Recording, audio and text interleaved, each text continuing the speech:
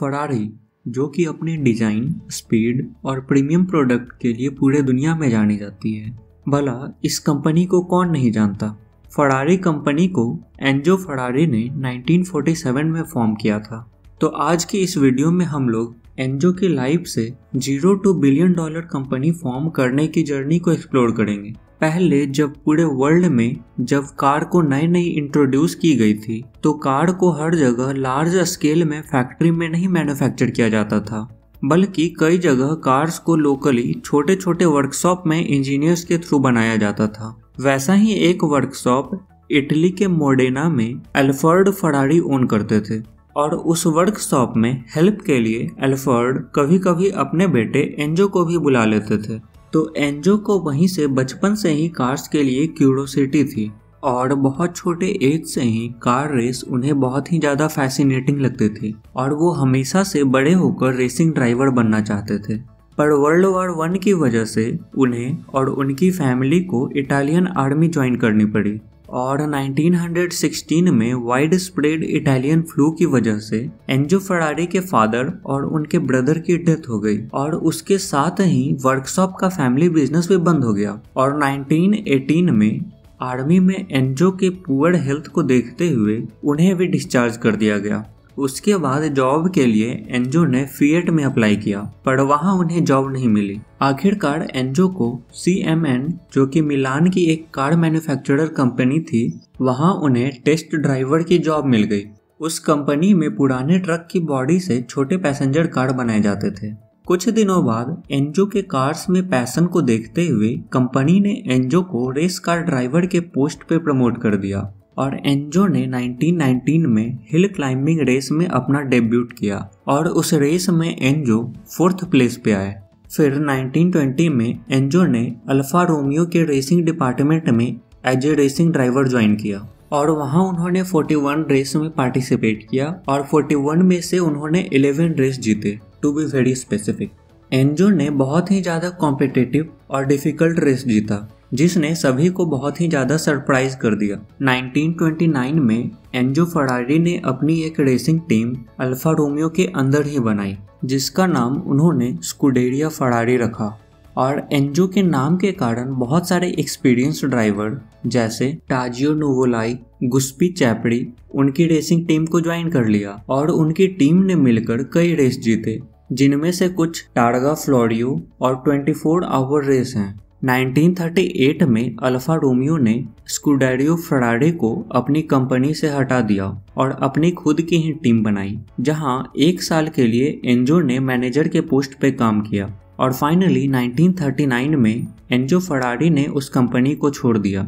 और एक नई कंपनी स्टार्ट की, जो कि ऑटो एवियो कोस्ट्रोजिनी थी। एनजो को अल्फ़ा रोमियो छोड़ने के पैसे तो मिले, पर उसमें एक कंडीशन थी कि एनजो अल्फ़ा रोमियो के साथ डायरेक्टली चार साल तक कम्पीट नहीं करेंगे। फिर उस टाइम एनजो की कंपनी गवर्नमेंट के फाइटर एयरक्राफ्ट के लिए मशीन सप्लाई करती रही। और फिर 1940 में एनजो खुद की रेस कार डिज़ाइन करने लगे, जिसका नाम ए ए सी एट था। और उसकी मात्र दो पीस ही डिज़ाइन और मैन्युफैक्चर मैन्युफैक्चर हुई थी और इसमें फीएट की एट सिलेंड्रिकल इंजन लगी थी। पर वर्ल्ड वॉर टू की वजह से एंजो को फैक्ट्री छोड़ना पड़ा, क्योंकि वहाँ बॉम्बिंग हो रही थी। पर अल्फ़ा रोमियो के साथ कॉन्ट्रैक्ट खत्म होने के बाद 1947 में एंजो ने फरारी 125 एस लॉन्च की, जो फरारी के ब्रांड के अंदर फ़र्स्ट कार थी। और इसमें फरारी ने अपनी V shaped six cylindrical engine लगाई थी, जो फरारी के इंजीनियर्स ने खुद डेवलप किया था। ये फरारी के सेकेंड वर्ल्ड वॉर के बाद बनने वाली मैक्सिमम कार्स की कोर इंजन रही।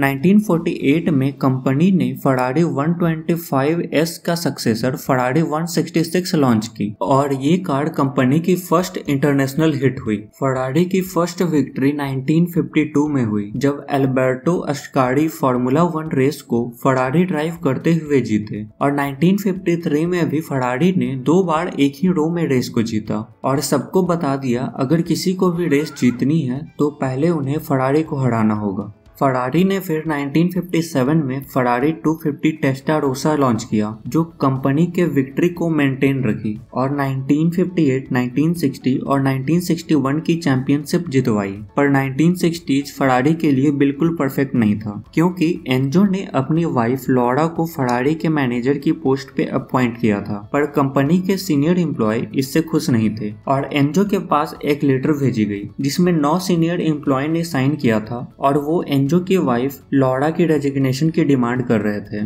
पर एंजो ने उन्हें ही फायर कर दिया। ये फरारी के लिए बहुत ही बड़ी टैलेंट की लॉस थी, और इसे फरारी की हिस्ट्री में द ग्रेट वॉकआउट भी बोला जाता है। और पिछले दो साल में ही फरारी के चार ड्राइवर की डेथ हुई थी तो वो टाइम फरारी के लिए ठीक नहीं था। और एंजो फरारी ने इसे देखते हुए तुरंत पुराने सीनियर एम्प्लॉयज़ के प्लेस को फिल करने के लिए न्यू और फ्रेश टैलेंटेड इंजीनियर को रिक्रूट कर दिया, और उन्होंने मिलकर एक ब्यूटी पीस फरारी 250 GTO को लॉन्च किया और इसके मात्र 39 कार्स ही प्रोड्यूस हुए। ये कार लगातार तीन बार वर्ल्ड स्पोर्ट्स कार चैंपियनशिप जीती और जो भी फरारी 250 GTO बची थी, वो बहुत ही ज़्यादा वैल्यूएबल हो गई। फरारी ने फिर इसकी सक्सेसर फरारी 275 और फरारी डेटोना लॉन्च की, जिसने फरारी को वर्ल्ड के बेस्ट कार मैन्युफैक्चरर में शामिल कर दिया और लोगों की बढ़ती डिमांड को फुलफिल करने के लिए फरारी को अपनी कंपनी का 50 परसेंट स्टेक्स फिएट को सेल करना पड़ा। वहाँ से फरारी को काफ़ी पैसे मिले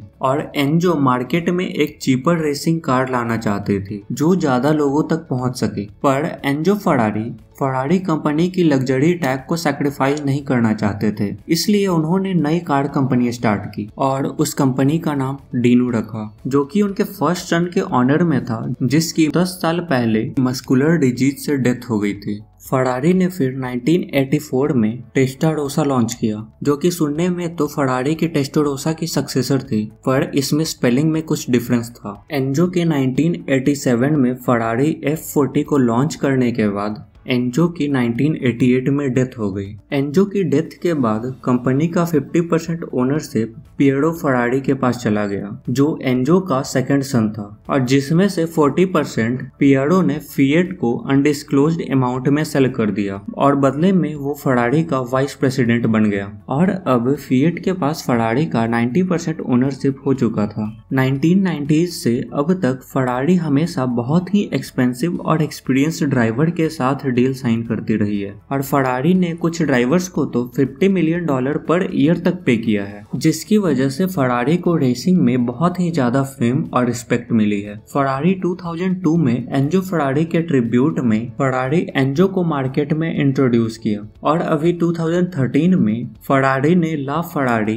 एक स्टनिंग डिज़ाइन के साथ लॉन्च किया, जिसकी प्राइस 1.4 मिलियन डॉलर है। और इस कार की मात्र 499 पीस ही बिल्ड हुई है। और फिर जनवरी 2016 में फिएट ने फराडे की आईपीओ की, ताकि वो और अच्छी तरह एक्सपेंशन कर सके। और फराडे की आईपीओ बहुत ही अच्छी रही। फराडे कंपनी की ये बहुत ही ज़्यादा खास बात है कि वो बहुत ही कम क्वांटिटी में कार बनाती हैं। और उन कार के प्रीमियम होने की वजह से वो बहुत ही जल्दी और ज़्यादा प्राइस में सेल हो जाती हैं। और फरारी ऐसे ही किसी को भी कार सेल नहीं करती, क्योंकि फरारी ये चाहता है कि उनकी कार एक स्टेटस सिंबल को रिप्रेजेंट करे और वो उन्हीं कस्टमर्स को कार सेल करती है जो लोग बहुत ही ज़्यादा रेपुटेड होते हैं। और फरारी की स्पेशल एडिशन कार लेना तो और भी ज़्यादा मुश्किल है, क्योंकि एक तो वो बहुत ही कम क्वांटिटी में मैन्युफैक्चर होती हैं और फरारी स्पेशल एडिशन कार उन्हीं कस्टमर्स को देती हैं जो फरारी के पहले से ही कस्टमर रह चुके हैं। तो फरारी की कार होना अपने आप में ही एक स्टेटस सिंबल है। तो ये थी एंजो फरारी की फरारी स्टार्ट करने से अब तक की पूरी जर्नी तो उम्मीद है इस वीडियो में आपको कुछ जानने को मिला होगा। तो फिर मिलते हैं एक नई वीडियो के साथ। तब तक के लिए टेक केयर